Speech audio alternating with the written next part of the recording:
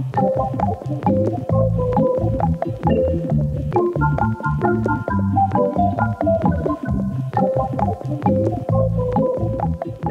welcome to another episode of Epigram. Today we are at Gravitas with the chef Matt Baker. How are you? Good. How are you? Very great.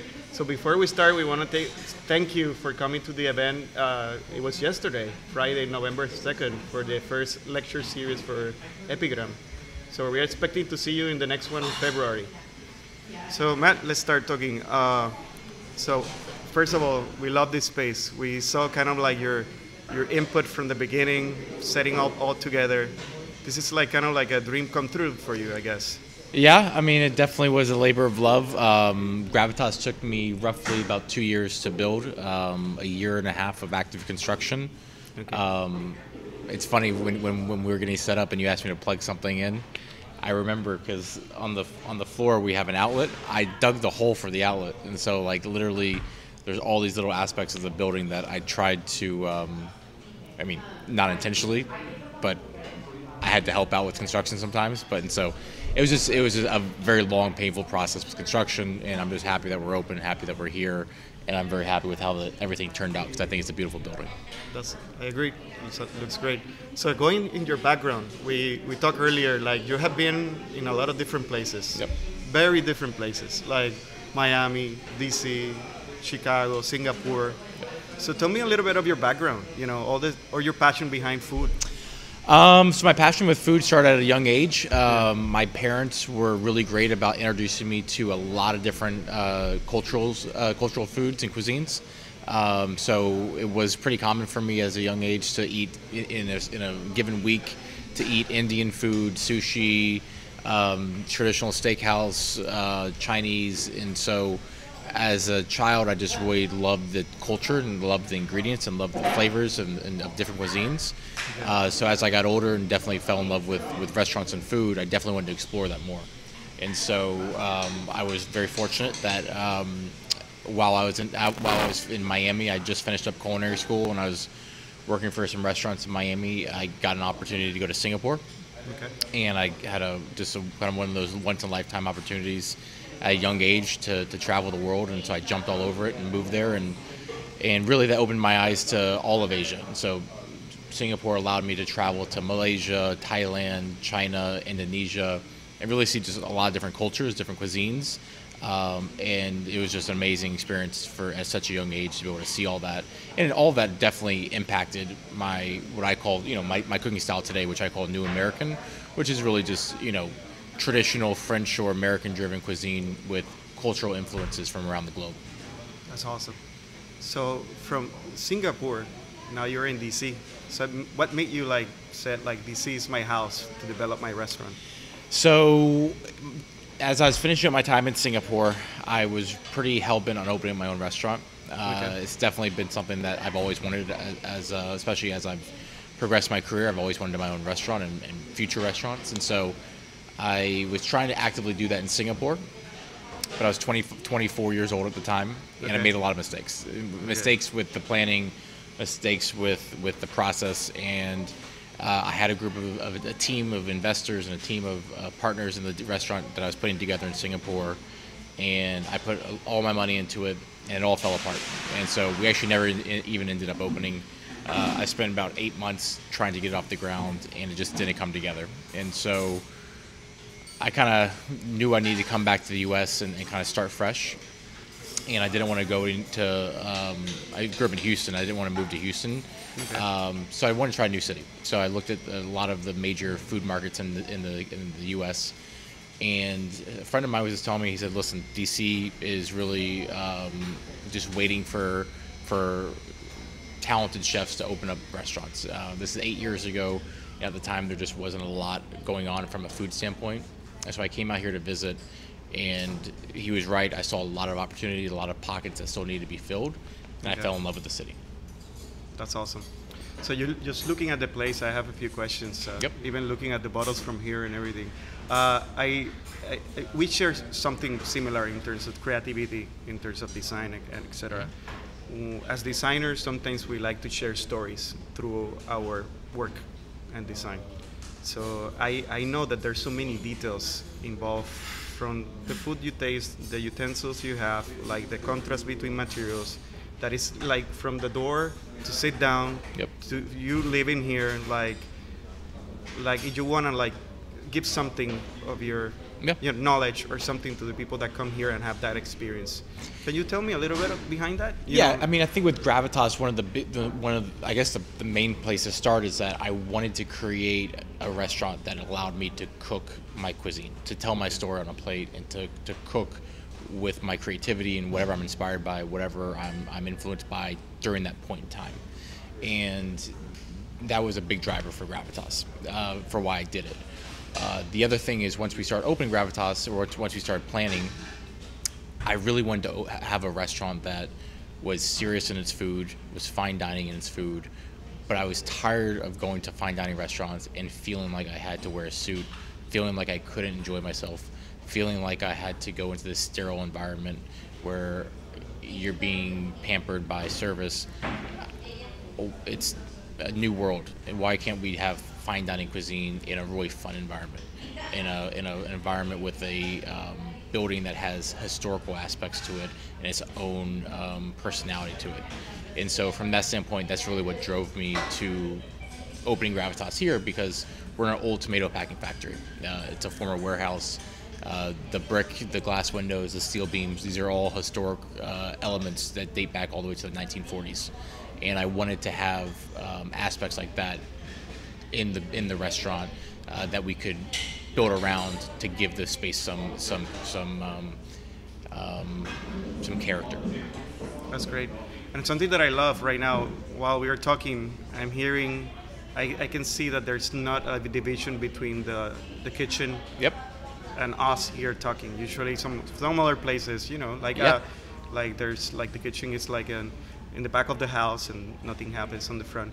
But here, the kitchen is even exposed. It has like one of the best windows to look out, even you know, like uh, Yeah. and I, I, I So, it, and that was something I wanted to create. So, I wanted a couple of the qualifying factors I was looking for in the, in the space was I wanted a perfect rectangle, Okay. and the reason for the rectangle is to create symmetry.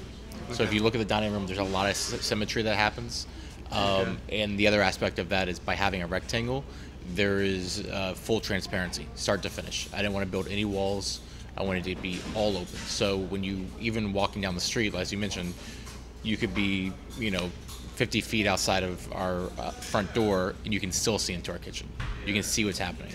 Uh, as you walk through the front door, you immediately see what's happening in the kitchen. You immediately see a, a dining room, and I wanted to create that transparency um, to where Friday night, packed house, kitchen's humming. You got chefs are cooking, plating. You got servers pouring wine, people clearing plates, serving plates. I wanted to create that energy from the inside out, so you can see that as you're coming in. That's awesome. So great, yeah. So you told me like it now eight months you have been Four open. months. Four months. Four months, sorry. Yeah. Uh, Eight months in the building, four months here. So yeah, I, I have been following you on those on your social media that I would share with you guys on, on, on the channel. That all the the involvement of like this empty space, and you signed a lease three years ago. Yep. In this area, we are in Ivy City, by the way. Uh, that we are neighbors, uh, and this place keeps like evolving and changing Yep. gradually, sometimes fast, sometimes slow, but uh, we can see that definitely is a catch, big change place. That Yeah. this will be something very different in a few years, and we Yep. are seeing it right now. Yeah, and that was another reason for why I chose to come to Ivy City. Um, There's plenty of other opportunities for restaurant spaces in DC. Uh, for me, I wanted to be a part of a neighborhood, and when I say a part of a neighborhood, I want to be almost like the backbone. I want to bring um, new life into the community.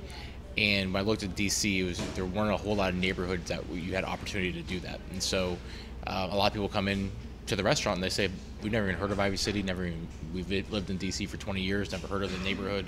Never been been here. We get out of the Uber. We're like, where are we?" Um, that's cool because we're bringing people that into the neighborhood that would have never come otherwise, and we're showing them what, what the city's what this neighborhood's about and what the community's about. And so, um, by us kind of being a beacon, that was really one of my goals uh, for, for for setting out with Gravitas. Great. So I have a question for you. I now talking back to the design and creativity stuff. So I, I have that intrigues me how you design the perfect menu for your place. that takes a long time. This is something that you have since you were in Singapore. I have to have this plate in my in my restaurant. Like there's something that you build up since the beginning. I don't know. Yeah, I mean, I think that's something that's always a something you're always seeking. I don't think it's ever a finished product. Um, I'm the type that I'm always getting ideas. I'm always driven by um, creativity and, and being um, inspired by new things. And so for me, it's sometimes it's difficult just to have a menu and keep it in place. So we change the menu pretty often here uh, okay. by introducing new new menu items. Um, and to be honest with you, a lot of times there's a dish that I feel really strongly about, but the guest doesn't respond to it or it doesn't deliver the way I thought it would. Um, and then there's sometimes where I put together a dish that I feel like um, is missing something or could be a little bit better, or you know, for whatever reason, we the guests love it, and they and they say, and so there's dishes on the menu um, that I've been doing for a few years now that I don't think we could ever take off the menu because people are just obsessed with those dishes, and so. Um, like I said, I think it's an ongoing, never-ending process of trying to find the perfect menu balance and the perfect dishes to put on the menu. That's great. So uh, another question that I have for you, for example, uh, us as a designer, architects, we usually like share a lot of stuff with other architects about design ideas, materials, uh, furniture, stuff like that. Do you get together with other chefs in the city and you know like do some kind of like I don't know how you say collaboration. Like, collaboration, but more in like a social aspect. Like, I will invite you home, or you go to their home, or you do stuff like that. Yeah, I, I mean, I would say with chefs, it's a lot on the kitchen side. Like, chefs yeah. love to walk through other other chefs' kitchens. Okay. Um, and they love to ask questions like, "Oh, you did you did, you did this type of grill? You know, in my restaurant, I've got this type of grill," and it's all kind of like geeky, esoteric, you know, kitchen jargon, and and um, so that's pretty common. Uh, one thing I do like to do a lot is um, I, I, like to eat out. I like to eat at other people's restaurants. Okay. I like to see what they're doing. I like to see what their um, style of service is, what their style of menu is, what their style of decor is. Um, especially when we travel. When we travel to new cities, I love to see what chefs in other cities, other markets are doing. Okay. Especially from a decor aspect. Um, you know, so I, I love to, to draw ideas and inspiration from that because I think um, from a restaurant decor, furniture, um, overall setup. I think um, there's just a lot of really cool things out there, especially when you look at the international market with uh, with a lot of restaurants in like the UK, a lot of restaurants in Australia. I think there's a lot of really interesting things that are happening. Cool. So Matt, uh, opening a restaurant, yeah. How, how do you do that? Like, uh, what is the process? Take me back there. Like uh, it's like uh, I can imagine just so after your experience behind it, yep. all the struggle to put something and then open to the public, and the restaurant is your name. Yep. So you're exposing for critiques, yep. for promotions, for everything that yeah. can go behind that.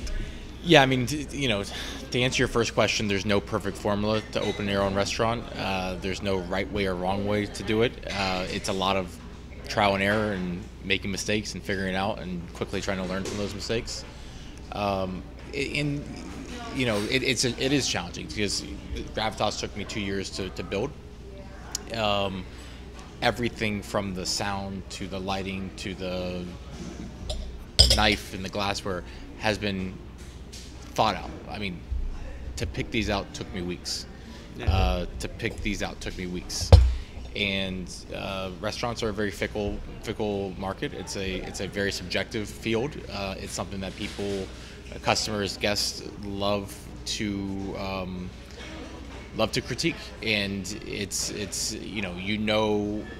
And I don't think anything can prepare you for that, but you know that as you make that plunge into opening your own restaurant, you put yourself out there you're opening yourself up for that. And so um, it's it's definitely a very interesting um, uh, dynamic to, to be on that side of the fence where you put so much energy and effort into it, and then so quickly uh, you can have a diner come in and either promote or critique it on uh, a platform such as social media or Yelp or online reviews. And similar to any type of artist, um, you know, you put your blood, sweat, and tears into this, and it's um, you got to have thick skin to be able to to deal with some of the, the things that people say sometimes. And then you also have to go with the highs and a lot of people love to promote your restaurant and talk about it, and, and we love that. And it's you know it's always um, nice to be recognized, especially with you know all the staff that we have and all the efforts that they put in. It's nice that they get recognition as well for all the hard work that they put in and put forward. So, you know, there's no per- perfect formula. Um, you know, it's just gotta have thick skin and, and, and, and put your head down and try to learn from your mistakes and get better every day for what I read, uh, the reviews are, are great. Thank you. We try very, very hard. Cool. So talking about that and exposing yourself out there, I, I want to talk a little bit more of like, just tell me a little bit about your kitchen in this restaurant. Mm-hmm. What type of food, uh, food we're going to experience here, uh, you know, for the audience out there yeah. that we want to invite them to come here. So yeah, so you know, we call we call what we do New American. That's the style of cuisine we call it. Um, and it's it's really it's my interpretation and, and inspiration of, of, traditional flavors, traditional ingredients, um, put forth in, in kind of a modern technique, modern way. And so on our menu at any point in time, you can have a Japanese sashimi with a um, beautiful soy sauce, mirin, sesame oil dressing, and and uh, puffed rice and crispy shallots, right next to a very um, French-driven chicken breast that we stuff with truffles and we roast it and get the skin crispy, and just do it with very simple, simply sautéed, uh, glazed uh, fall vegetables. So. Um, I think that's the beauty of Gravitas is that it's really my interpretation of, of cuisine at the moment. So um, you have this this um, really this wide variety of flavors and dishes on a menu um, and hopefully, hopefully they're all delicious. I think they're all delicious. Um, but uh, it's cool because you get to experience a lot of different flavors in one sitting. That's great. I'm getting hungry. I think I'm staying. so that's great. Uh, yeah, talking about you created this already. This is like one of your goals done. Yep. What is the next step for you? Next step for me. Um, you know, are you, are you planning to open a restaurant in another city, or you're planning to stay focused in? DC? I think I'm gonna focus in DC. We do have I I do have plans to do some more stuff. Um, yeah.